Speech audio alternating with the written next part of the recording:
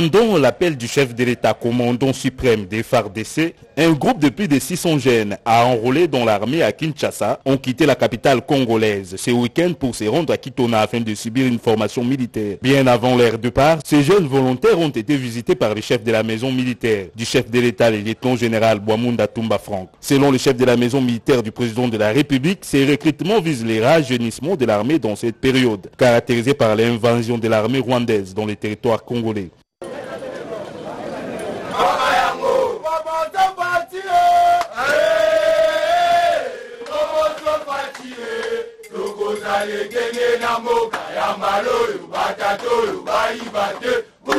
Aussitôt arrivés à Kitona, ces jeunes ont été accueillis par les directeurs d'instruction du CI Kitona, les lieutenants-colonels diplômés d'état-major Kanga. Dans ce mot, le directeur d'instruction du centre de Kitona a donné des orientations à ces nouvelles recrues.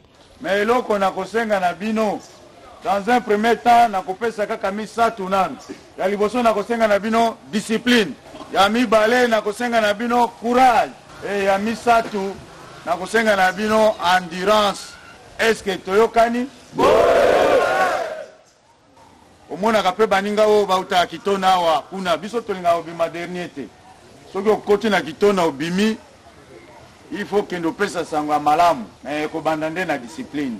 Okima mateya te zala tout moment na biso na mateya. Oui eza parcours moko facile te. Me mpo na mwana mobali baetape nyonso ya vie esengeli akutana nango mpe alonga yango. Boye te? Donc biso nyonso toparticipe rapidement na courage nyonso mpo toavance rapidement. Me mboka oyo oye nkombo nango kitona toza na entité ya ville ya mwanda. Bakongo baza na terme moko balobaka awa yai mwanda tula dikulu tala.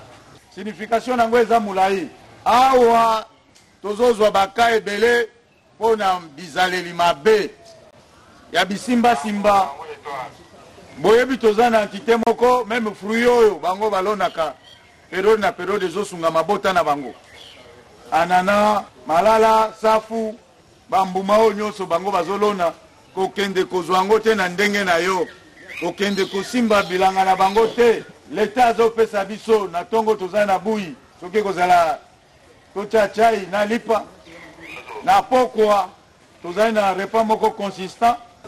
Estce tozoyokana bameli bangi komeka te. O wana nde nazalaka na patience ata seconde te. Ozalaki omela bangi nayebi. Soki ozalaki kuluna yo moko miyebi. So ozalaki moyibi ya ndenge nini? Meme bandi ya me arme yo moko oyebi. Awa biloko wana nyonso obwaki ekomi le passé ngai naya kojuge yo te natie yo na prison te ngai naye nde nakotisa yo mosala masoda na mutu na yo. Donc biloko wana soki nazwi yo na bizaleli wana le même jour vous rentrez tokobengana yo. Soki mpe tobengani yo okoya ndenge leta amemi yo boye te. Tokopesa yo tike te okozonga epai na yo na ndenge na yo. Ye ndenge lelo boye boye ndenge bokuti biso ndeko na yo ngai ye ye kuna na arme tozali ya politike soki omoni ke oye makambo ya politike awa ozongi epai ya ndeko na yo ya politicien wana azali. Arme ezali arme nationale. Okomi soda ya tribu nyonso eza na congo. Estce toyokani? Esprit d'équipe ezala kati na bino. Amour ezala kati na bino. Moninga atiki eloko tika yango wana.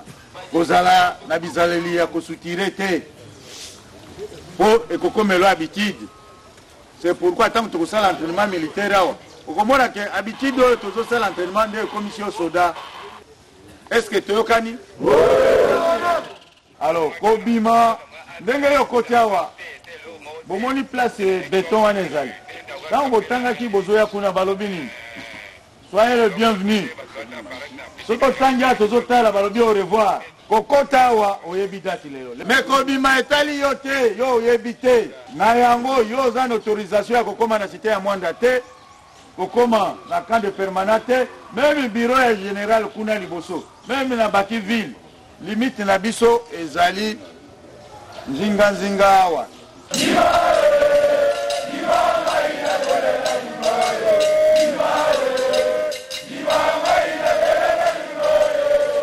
Pour la meilleure prise en charge de ces recrues, le chef de la maison militaire du chef de l'État a réceptionné le samedi 5 novembre 2022 un lot de plus de 5000 matelas et d'autres équipements et kits en présence du chef d'état-major général, le lieutenant général Chio Isong et sa Christian.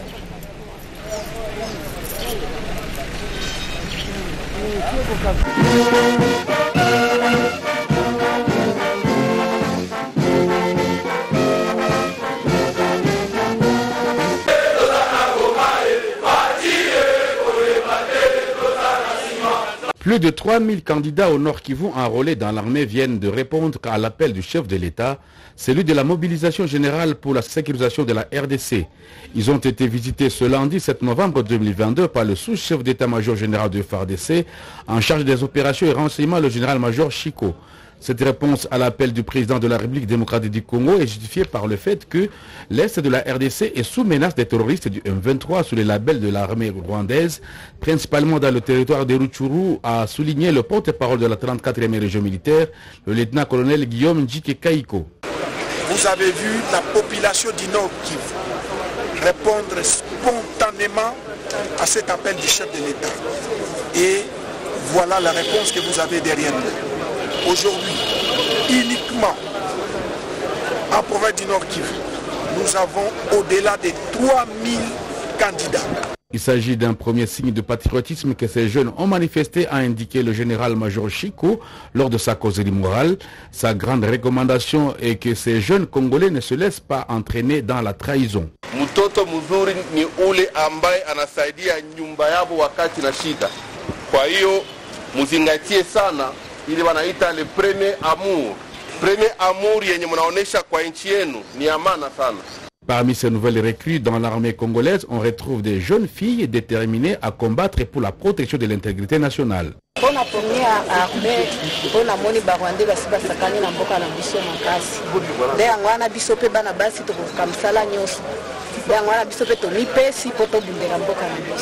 Signalons que cette causerie morale a été animée dans l'enceinte de la 34e région militaire.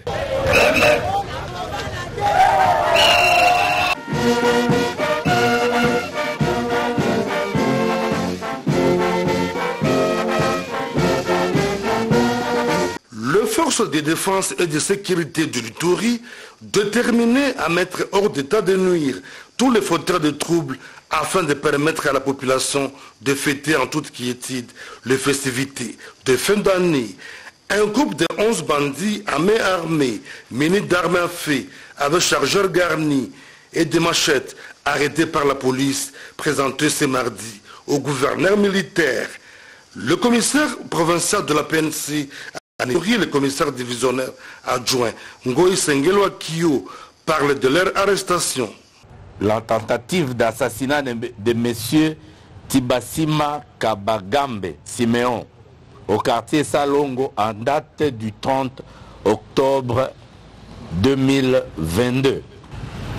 Le deuxième groupe est constitué de plusieurs criminels évoluant de jour comme de nuit en volant, violant, Un bandit présumé auteur des tentatives d'assassinat d'un habitant du quartier Salongo passe aux aveux. J'ai été arrêté parce que Samy nous a envoyé tuer Siméon, car ce dernier nous a promis 1000 dollars après que cela soit fait. Cette action de la police est saluée par cette femme qui a vu ses biens volés récupérés. Je remercie le travail abattu par la police, car c'est grâce à elle que je puis retrouver mes biens volés. Au gouverneur militaire de l'Uturi, le lieutenant général Louboyan Kachoma Johnny d'encourager le travail abattu par la police avant de réaffirmer la détermination de l'administration militaire à lutter contre l'insécurité dans la ville de Bougna et ses environs. Nos policiers, nos militaires travaillent jour et nuit. Qu'il pleuve, qu'il vente, qu'il neige. Mon général, je tiens vraiment à vous féliciter, à féliciter notre police, à féliciter notre armée, comme je l'ai dit, et que je pense que nous sommes sur le bon chemin. Cette opération menée par la police rassure la population de Bougna et environ qui ne jure qui par le soutien et l'accompagnement de l'administration militaire dans les actions dans le cadre de la lutte contre l'insécurité sont palpables. Pour preuve, il s'observe une accalmie sur toute l'étendue de la province depuis plus d'un mois.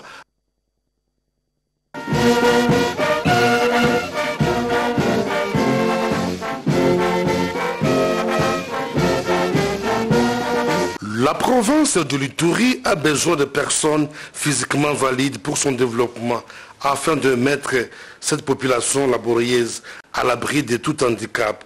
Le gouvernement militaire de l'Ituri a lancé ce mercredi la deuxième campagne de vaccination contre la poliomyélite en faveur des enfants de 0 à 59 mois. Plus d'un million d'enfants sont attendus pendant trois jours sur l'ensemble de la province et la stratégie adoptée est celle de porte à porte, précise le chef de division provinciale de la santé en Ituri, Dr Louis Choulou. Pendant la campagne de vaccination excellence, les enfants vont recevoir deux gouttes de polio dans la bouche. On appelle ça oral. Et au même moment, nous allons aussi, on a demandé aux acteurs de récupérer les enfants qui n'ont pas été atteints lors de la vaccination des routines. Occasion pour le gouverneur militaire de l'Ituri, le lieutenant général Luboyanka Johnny d'inviter la population de l'Ituri à une mobilisation massive pour la réussite de cette campagne. Nous serons tous heureux qu'après ces journées de vaccination, 100% des enfants ciblés aient été atteints car la santé n'a pas de prix. Je lance un appel à tous pour le respect des gestes barrières que vous connaissez contre le Covid et la maladie à virus Ebola. Il faut dire qu'à part les efforts pour pacifier la province de l'Ituri, le chef de l'État Félix Antoine Tshisekedi Chulombo tient énormément à l'amélioration du secteur sanitaire en vue de garantir l'accès aux soins de qualité à toute la population.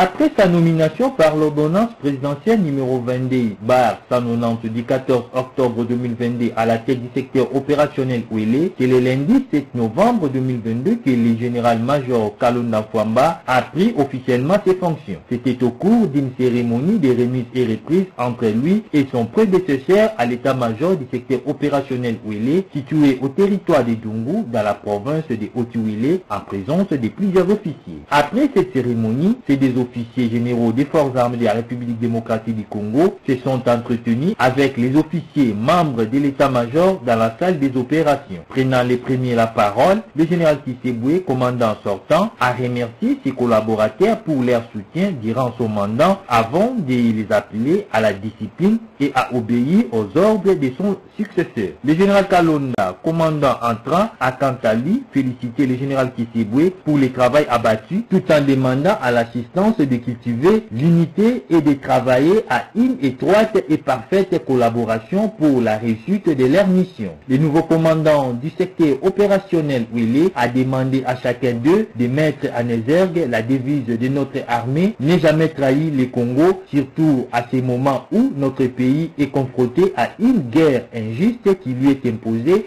par les ennemis de la paix. Le nouveau commandant du secteur opérationnel Ouélé a fini son message par la présentation de ses deux adjoints, à savoir le général de brigade Pierre et le colonel diplômé des stratégies de défense Simon Koulou, respectivement commandant à second à charge des opérations et renseignements et commandant à second à charge de l'administration et logistique. Profitant de l'occasion, le général Kisseboué a fait ses adieux au moment des camps Evaza ici présents. Dans la foulée, le général Kalonda a visité les installations de l'état-major du secteur opérationnel où il est. Il a fini sa visite au camp des bataillons des forces d'intervention régionale FIR. Ici de rappeler que le général-major Kalonda Fwamba a occupé la fonction de chef d'état-major à la troisième zone de défense avant de prendre la destinée du secteur opérationnel où il est. Tandis que le général-major Kisseboué Lamoussen Isaac est affecté au secteur opérationnel Nord-Équateur.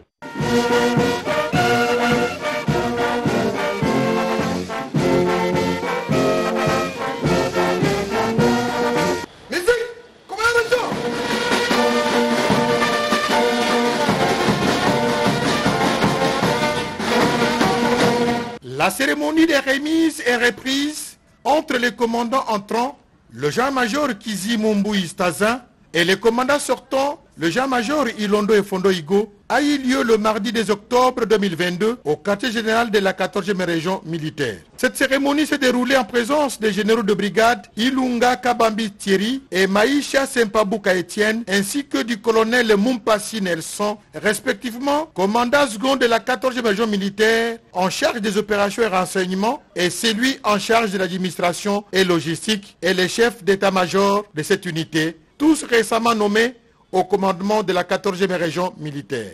Peu après cette remise et reprise, le nouveau commandant 14e région militaire a visité les bureaux et installations de l'état-major sous la conduite de son prédécesseur, le Jean-Major Ilondo, désigné commandant de la première zone de défense en charge des opérations et renseignements avant de s'entretenir avec les officiers réunis dans les halls de l'état-major. Après la prière dite par l'aumônier catholique et la présentation des officiers, les deux commandants sortant et entrant ont eu chacun à s'adresser brièvement à l'assistance. C'était une occasion pour moi de vous remercier, vous tous, parce que vous avez travaillé avec moi.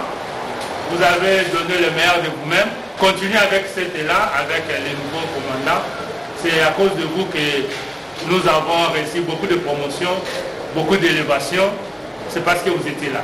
Sincèrement, je voulais vous dire merci parce que nous avons travaillé ensemble, mais nous sommes là parce que nous sommes des militaires. Nous sommes sortis vraiment vainqueurs et tout s'est bien passé à travers nous, pour nous tous d'ailleurs. Si j'ai eu cette promotion, euh, aller à la première zone, c'est grâce à vous aussi. C'est l'occasion pour remercier aussi les chefs de l'État, Félix Tshisekedi Chilombo, pour la confiance qu'il m'a donnée. Donc je suis avec vous. Donc je serai toujours avec vous et surtout que nous sommes toujours dans les mêmes quartiers. Nous remercions également le commandant suprême jeter son choix sur nous et sur euh, euh, mes deux adjoints pour, euh, n'est-ce pas, travailler ensemble avec vous. Et donc ça, c'est vraiment un plaisir. Nous disons merci pour ça. Mais pour ce qui est du travail, chacun connaît ce qu'il doit faire. Nous nous venons, nous sommes, nous sommes là. Et donc, il n'y a personne qui dira qu'on ne m'aime pas ou on m'aime. C'est plutôt le moment de continuer avec le travail. Si on le faisait bien, on va un peu plus loin encore de celui qui était peut-être en deçà de, de la moyenne. Nous lui demandons, n'est-ce pas, d'essayer de fournir un grand effort pour atteindre la moyenne et au-delà de la moyenne parce que les enjeux demandent à ce que chacun, n'est-ce pas, contribue par son travail dans la sécurité et dans tout le travail que nous aurons à faire ensemble. Profitant de l'occasion, le Jean-Major Ilondo a remis des chaises, tables, appareils téléviseurs et autres matériels culinaires pour les comptes du mess des officiers de la 14e région militaire. Réceptionnant ces dons, le gestionnaire du mess des officiers, le lieutenant-colonel Malala André, a remercié sa hiérarchie pour ses gestes accordés et a promis d'utiliser tous ces matériels en bon gestionnaire.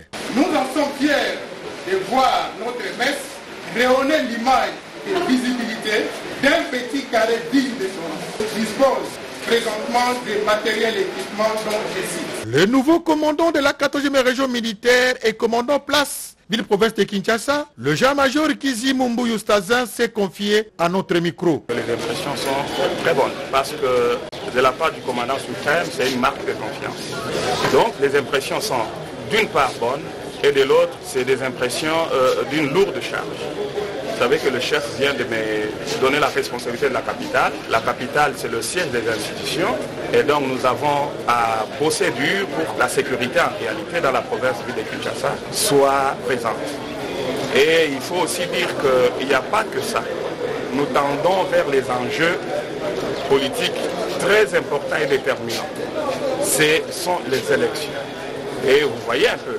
Et donc, euh, j'ai un sentiment partagé de joie, effectivement, pour la nomination, mais de grande responsabilité parce qu'il y a beaucoup à faire. Le Jean-Major Kizi Mumbu Stazin, par ailleurs, appelé tous les commandants de camp à prendre des mesures qui s'imposent pour éradiquer le phénomène Koulouna qui sévit dans les camps et a invité les militaires de sa garnison à plus de discipline. Euh, la ville de Kinshasa, vous savez, un Koulouna, c'est d'abord un civil qui développe un système de criminalité urbaine. Et donc, euh, devant ces civils, c'est plus la police qui doit s'en occuper. Et au cas où la police n'arrivait pas, elle va faire appel à l'armée. Et donc, l'armée ne peut pas euh, s'affronter avec son peuple. Mais si avons des inciviques qui vont au-delà de ce que la police demande, à ce moment-là, sur instruction, nous intervenons. Mais dans le camp militaire, c'est un impératif. Le camp militaire n'est pas un endroit où on doit cacher les criminels. Nous devons assainir les camps militaires. Et d'ailleurs, ça, je, lance déjà un appel aux commandants du camp dans toute la ville de Kinshasa, qu'ils doivent absolument sur quel pied se tenir. En ce qui concerne la criminalité, n'est-ce pas, dans le, camp militaire. Parce que je serai pratiquement euh, très rigoureux en ce qui concerne euh, cette situation. les camps militaires hébergent des militaires. Les militaires, ce sont des hommes de loi.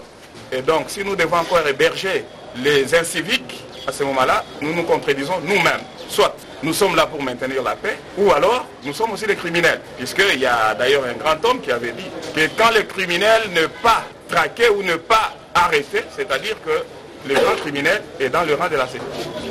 Oui, aux militaires de la garnison, nous demandons à ce que d'abord qu'ils sachent que nous sommes dans la capitale. Et la discipline est la mère des armées, disait le général euh, Mayele. Et donc, tout militaire doit se conformer à la discipline militaire. Et tout militaire doit être loyal à sa patrie d'abord et à son commandant suprême. Nous n'avons qu'un seul commandant suprême. Et donc, tout celui qui ira à l'encontre de ça, il verra la loi derrière lui et il va nous trouver sur son chemin. C'est par une pause de photos souvenirs que la cérémonie de remise et reprise a pris fin.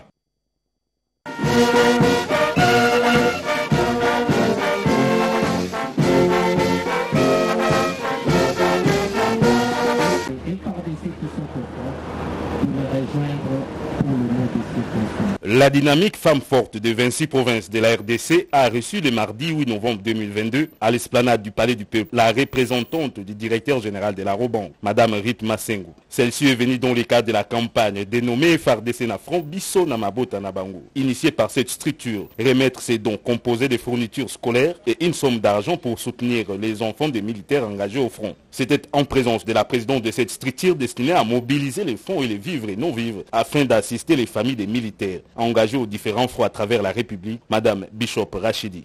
Nous sommes dit, nous n'allons pas nous mêler dans la politique.